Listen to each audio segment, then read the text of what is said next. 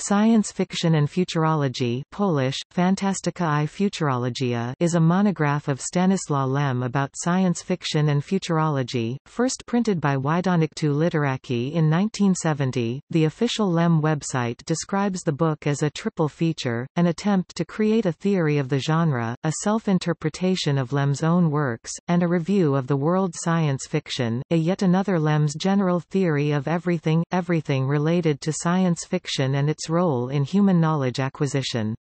The book was acutely critical of Western science fiction.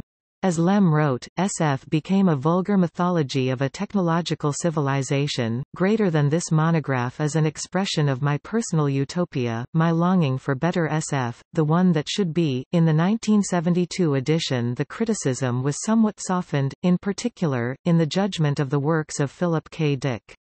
Lem confessed that his opinion about Philip K. Dick was based on limited knowledge of his works, not the best ones.